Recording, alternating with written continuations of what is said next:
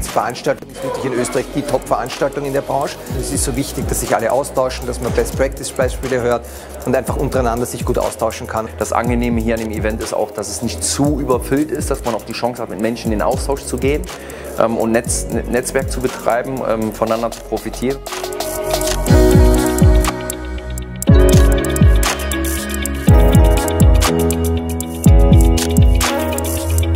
Really loved the energy, first of all. It was a great opportunity. We were delighted to come here to talk for the first time here in Austria. The presentations were all very different and great to see so many big companies here coming along and supporting such an event.